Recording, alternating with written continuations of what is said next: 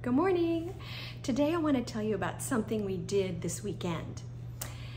We went to a birthday party, but it wasn't just any birthday party. It was a very special birthday party, a 99th birthday party. The birthday party for Seth Hufstedler. Seth Hufstedler is one of our dearest friends, and at 99 years old, he is sharp as a tack and a lot of fun to be around. The stories he can tell. He grew up in Bakersfield, California, where he worked at his father's Motor Court Hotel.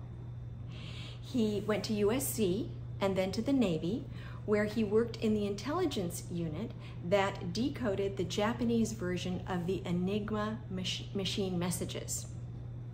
He then went to Stanford Law School, where he was the founding editor, or he helped to found the Stanford Law Review. He graduated first in his class, but probably most importantly, he met and married Shirley Mount Hufstedler. Seth and Shirley were a formidable pair. Seth founded one of the elite law firms in California, where he was a trailblazer by hiring and promoting to partner the first black lawyer to work for a major law firm in California. Shirley worked her way up from trial court judge to a seat on the Ninth Circuit Court of Appeals and then was appointed as the first Secretary of Education by Jimmy Carter.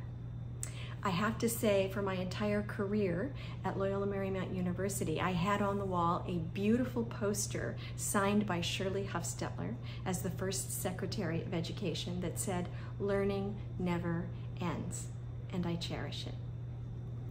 Together, Seth and Shirley were guiding lights in the California bar. Seth went on to serve as the president of the LA County Bar, the California State Bar, and the American Bar Foundation. He was and still is recognized as one of the leading trial lawyers in the nation. Robert and I treasure our friendship with Seth and are honored to be included in the celebration of his 99th birthday. Happy birthday, Seth!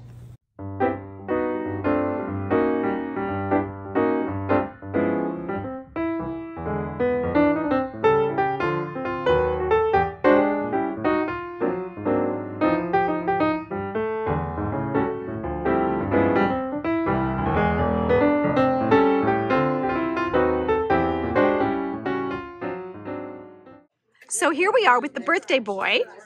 And I was just having a conversation with him, and he told me something very funny. So, what did you do this week, Seth? Well, I had, had a busy week. I had uh, the house was tinted for two days. Uh, I had all sorts of chores I had to meet. But I had my first physical for three for three years. They had interrupted it on various occasions, so I had a physical. Uh huh. Wanted to see my doctor and he gave me a reasonably good report. And he said that I was the healthiest 99 year old he had ever seen. and what did you say? I said, You probably haven't ever seen any other 99 year old. and he didn't deny that. So, so, I'm not sure there's any comparison. So it could be true. could be true. Happy birthday, Seth. Thank you very much. And then also to Seth, who is an inspiration to all of us. Um, he's been a wonderful father, grandfather, friend, mentor, um, and has inspired generations of, of lawyers uh, in the legal community across the United States. And he's truly a remarkable person. And we're all fortunate to be here with him to celebrate his 99th birthday. birthday. So, Seth, congratulations. Congratulations. Stay alive. Happy birthday. Thank you.